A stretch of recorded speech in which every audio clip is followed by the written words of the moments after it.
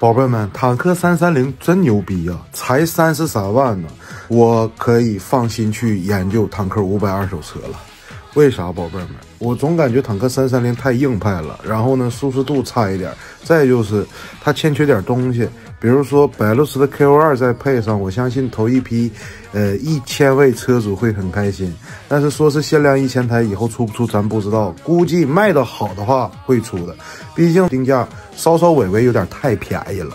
宝贝们，能让你白给我点关注吗？你看我会干个什么？坦克五百二手车呀，零公里包牌的车，这玩意儿我省个十几万我不香吗？但是兄弟们，关注不白点，看到这儿，我告诉你，坦克五百的二手车它很极端，要么兄弟们就是公里数少，这玩意儿当宝贝儿开的，你即使卖，那可能真是缺钱了。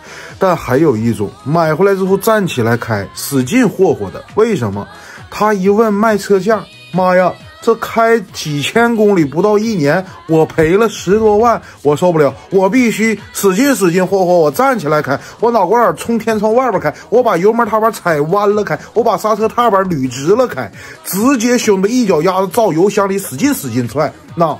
秃噜了四万多公里的这种是便宜，但是这种车，兄弟们，他吃过的苦有多多，你知道吗？他受过的苦，可能有的私家车一百万公里他都没受过。所以说，想研究坦克五百的，一定要看清车况，好吗，宝贝儿？点赞关注，祝你发财！哎，对了，你觉得坦克三三零是什么样的人买？如果烈马跟他，你会怎么选呢？